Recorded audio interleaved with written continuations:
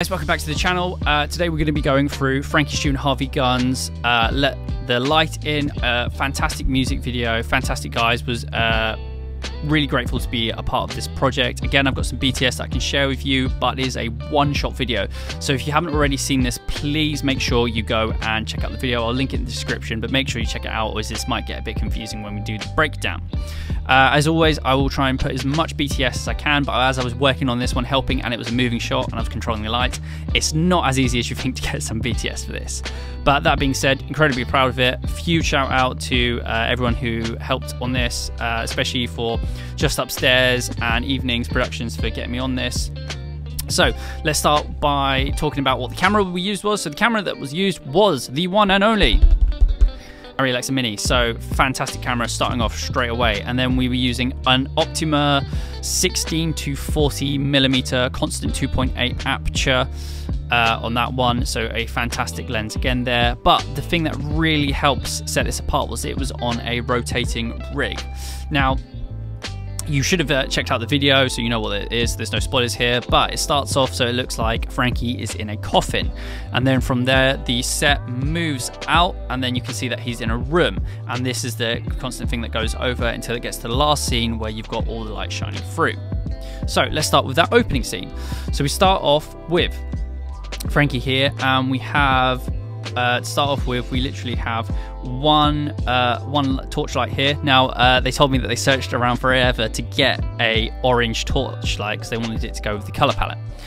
Uh, so we've got the torchlight that goes on here, and we have a 300D. So I should probably explain actually a bit more. So there were a lot of lights, and when I mean a lot of lights, we are talking six 300Ds or 300Xs, a mixture of 300X and 300Ds just for one shot that comes in at the end. We have a 300D with a lantern on over uh, Frankie's head the whole time. We had two Arri Sky panels further out to give a bit of uh, atmosphere. We did originally have two B7Cs as practicals, but one ended up playing up right at the last minute, so we ended up just swapping it for one B7C, which you'll see later. And then we had a 600C with massive softbox and even then muslin on it as a bit of a key light. So you can tell there's quite a lot of lights going on in this um, music video, but it's fantastic. And you never see them, apart from the practicals, you never see them. So this starts off with the uh, with the um, the torch and then the 300 uh, the 300D above will slowly come on. We then the walls uh, walls push out, and you can now see you see now as well. Always make sure you have your haze in this. So we've got the haze going on. The walls are pushing out. You see Frankie now. The camera's twisting. We've got Frankie uh, being exposed up top here by that 300D, as well as the sky panels coming in. These are pushing out. And then you've got that 600C coming on as well to front light him here and help with that. We then move here. Frankie, as this was a live set, Frankie was moving around. This was one take, so this was him really having to one say the lyrics and act it out uh, and perform, which is great. So he did a fantastic job here. We've then got this B7C here.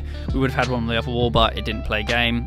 Uh, the B7Cs, after working with B7Cs on this shoot, I'm really put off them. I love Aputure's stuff, especially the MCs, but the B7Cs, got trauma from that. So here he is. It's really dark in the corners here, which is great because we've got that exposure up top. So I'll switch to the, uh, to, well, I'll probably go in order of the way this happens. So we, we go from this coffin shot to the walls getting bigger, to the walls being blunt round. Then we would go back, the walls getting smaller, back to the coffin shot, some more singing, back to this shot, and then finally we ended with this shot. So I was in control of these Aputures. So what we've got here is we've set the white balance so it's really warm uh, for some shots, but also these are coming in and looking really cold. These almost look blue at points. And what we've got here is we've got what happened was I was using the Sidus Link app on the iPad. I was putting the them up one by one in a in a bit more of a random order, and then with the haze and the and the splits, as you can see here in the wood, it's shining through and creating this really cool layered effect with it. And we also had some uh, some foil to help give the cone a bit of shape. Uh, and if we go to another shot, you can see here it gives this really cool texture on him. Um, and then it ends with me just slowly fading them out one by one. Uh, so the BTS on this is really the bigger the bigger part of this, not so much me talking through it. Um, as you can tell, because it's a one shot, it's a bit harder to go through lighting breakdowns because you, I mean, the lighting is a very important part of it, but because it's so quick and so happening, uh, happening, uh, it's mostly lights turning on, lights turning off. Uh, Misha, who was the gaffer for this, did an incredible job. Uh, I'll link him down below. But yeah, hope you enjoyed this uh, breakdown of Let the Light In by Frankie Stew and Harvey Gunn. Uh, if you haven't already, please check out the other breakdown I did. Uh, please leave a comment saying if you like this or not, like maybe or there's something I've missed. Uh, I'm going to be doing this for my own music videos, the ones I do, so I help out on these productions as well. I've got some other ones coming in, but my own music videos I'm going to be doing a bit more in depth. Uh, maybe some BTS behind that, you'd prefer that. Uh, I hope you enjoyed this. So, yeah, please like and subscribe, and we'll keep it going. Thank you.